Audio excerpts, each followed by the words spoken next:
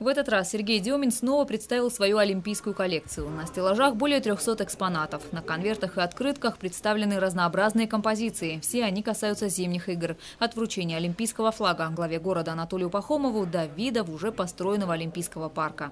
Здесь представлены как э, государственных выпусков э, почтовые э, конверты, карточки, так и конверты, выпущенные в частном порядке, которые очень э, интересуют многих наших э, любителей коллекционирования филателии, почтовых марок, почтовых карточек и конвертов.